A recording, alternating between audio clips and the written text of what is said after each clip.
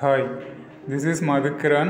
Uh, after completing my BTech, I joined QSpiders in Velachery, where I depended on my knowledge of Java, SQL, and web technology.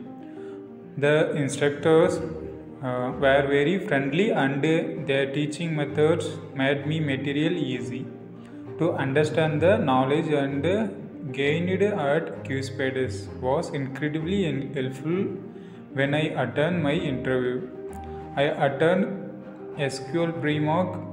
It was a nice experience uh, to improve my communication and uh, technical skills.